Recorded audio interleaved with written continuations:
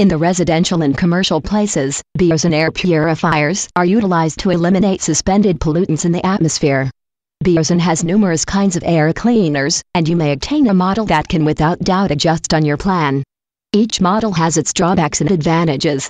But some great features are available in each type. Biozone air purifiers use a particular photoplasma technique of cleaning the air.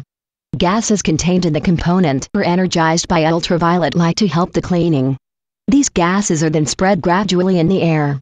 These energized gases clean all the organic pollutants present in the air which results a fresh and clean air.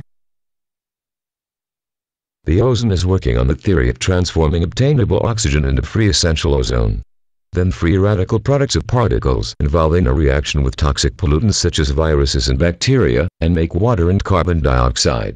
Ultraviolet radiation leads to the conversion of two oxygen molecules to three ozone molecules. Ozone is a sturdy oxidant that hits contaminants such as viruses, fungi and bacteria thus cleans the air. It has the ability to remove even the sturdy concentration of contaminants present in the air which other purifiers can't. The air is cleaned by circulating substances spread by Biozone air purifiers.